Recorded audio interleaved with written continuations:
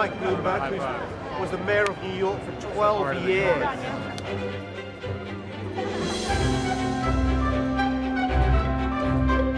We undertook this project nearly a decade ago, not only because we saw that we would need more space, but because we wanted to create a place that would be as innovative and forward-looking as our employees. Lots of people deserve a lot of credit for making this day possible.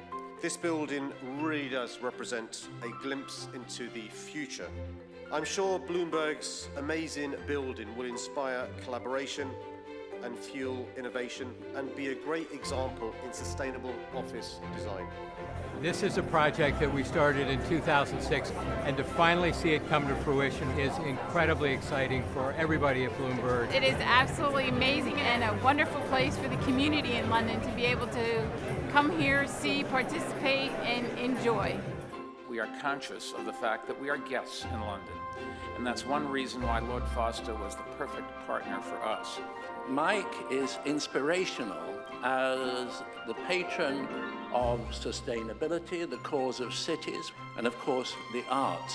The building itself is really testimony for those ideals. Thank you for the vote of confidence in London.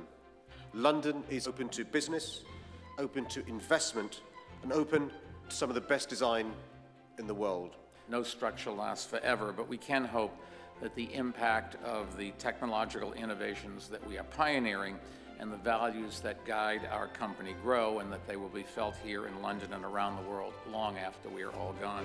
It's incredibly exciting to be here today and to see the building finally in action and see people here. It's a legacy for London, a legacy for Bloomberg. It seems like it's going to be the kind of space where we're going to be able to thrive as technologists, as developers, as builders of our products. It's wonderful to see Mike's dream executed so magnificently.